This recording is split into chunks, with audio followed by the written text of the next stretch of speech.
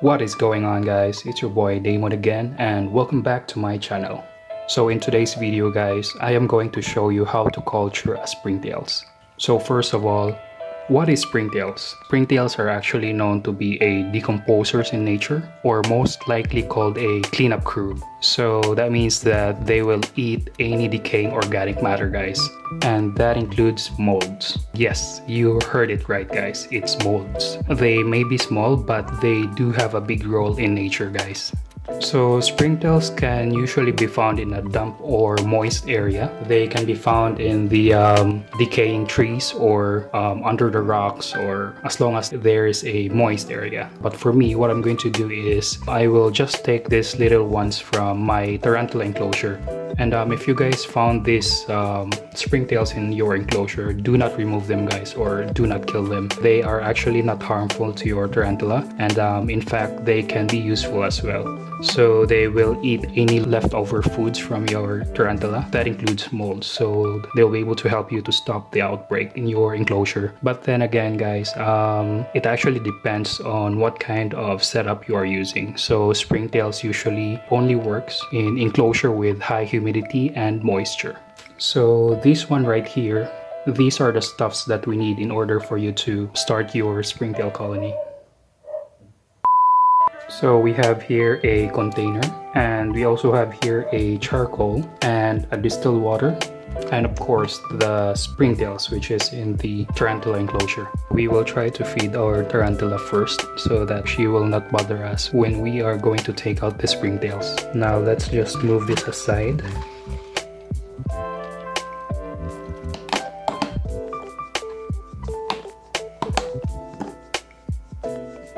So there she is guys. Let's try to feed her so that we will be able to take out this water. So here's our lats. There we go guys.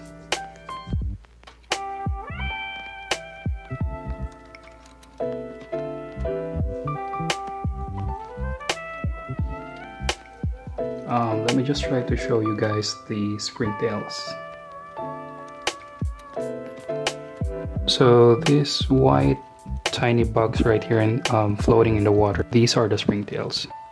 So first one right here is our container. Now I'm going to use this small container because I'm still new to this hobby and I don't have much enclosures yet. So we just need to put the charcoals inside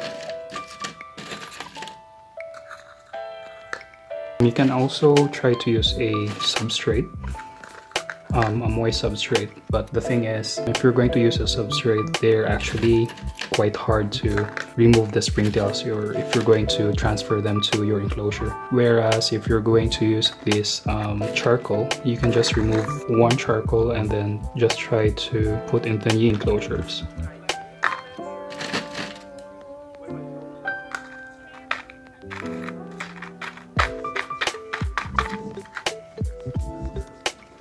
Okay, so here we have our charcoal. Now, the next thing is we need to put the distilled water. It is actually important to use distilled water or mineral water guys. Do not use a tap water guys because it contains chlorine which can kill your springtails. Now what you need to do here is you just need to put water.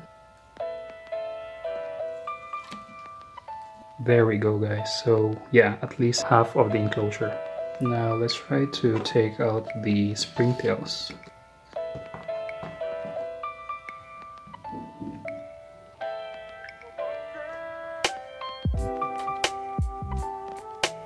So here's our springtails guys. Um, I'm not quite sure if the camera can capture this one or something but yeah so those white stuffs right there those are bugs they are the cleanup crew now let's try to put them in this container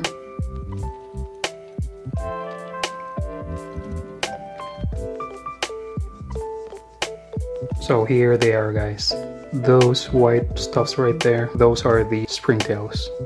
Now, it's actually easy to take care of them. You can actually just drop some sort of pellets from your cat food or dog food, or if you don't have any pets, you can actually just use a grain of rice. So you'll just leave it there, and as days goes by, guys, the rice will actually decay and will cause molds. So those molds will be your springtails food source.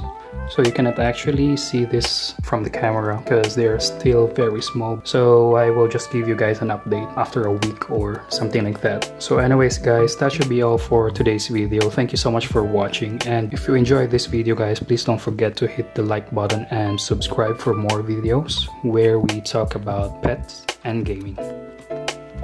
See ya!